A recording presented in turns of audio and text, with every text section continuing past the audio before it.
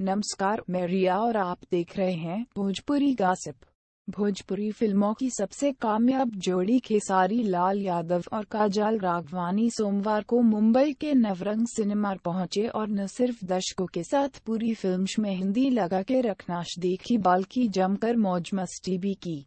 खेसारी लाल ने न सिर्फ़ दर्शकों की फरमाइश पर फ़िल्म के गाने शुजरसों के सागिया और जान गायनी ये जी गाकर सुनाए, बल्कि उनका भरपूर मनोरंजन भी किया। आपको बता दें कि रजनीश मिश्रा के निर्देशन में बनी मेहंदी लगा के रखना भोजपुरी सिनेमा के इतिहास की सबसे हिट फ़िल्म बनने की दिशा में आगे बढ़ रही है। दर्शकों के साथ साथ फ़िल्म की चर्चा पूरी फ़िल्म इंडस्ट्री भी कर रही है। पटना से पाकिस्तान जैसी सुपरहिट फ़िल्म बना चुके।